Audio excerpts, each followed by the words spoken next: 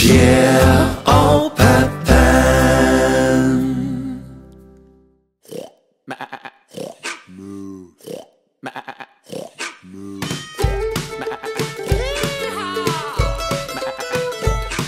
Jens Hansen havde en bondegård Ia, ia, jo Og på den gård der var en ko Ia, ia, jo Og det var Mumu. Her. Og Mumu. Der. Mu, Her. Mu,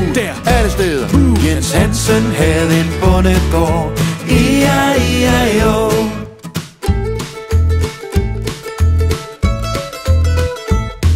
Jens Hansen havde en bondegård.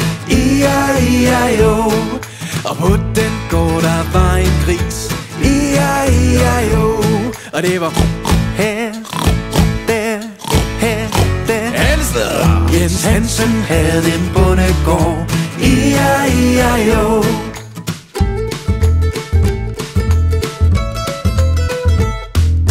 Hansen havde en bondegård. Ia, ia, jo. Og på den gård der var et får. Ia, ia, jo. Og det var med, med. Her. Og med, med. Der. Med, Her. med, Der. alle steder Med. Jens Hansen havde en bondegård. Ia, ia, jo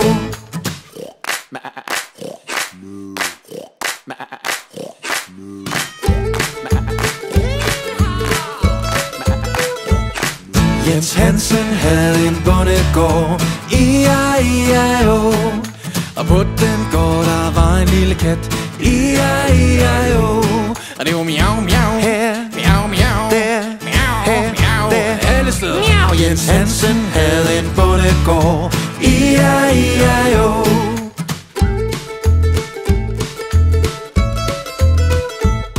Jens Hansen havde en bondegård Ia, ia, jo Og på den gård der var en hund. Ia, ia, jo. Og det var ruff, ruff her. Og ruff, ruff der. Ruff her Ruff der. Alle steder. Jens Hansen havde en bondegård. Ia, ia, jo.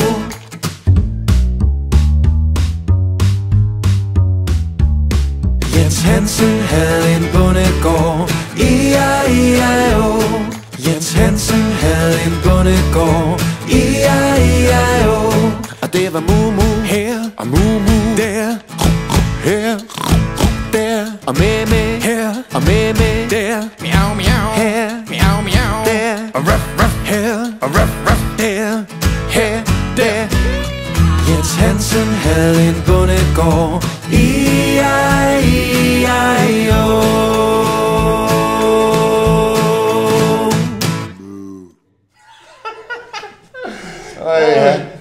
elsker altså dyr, Peppan.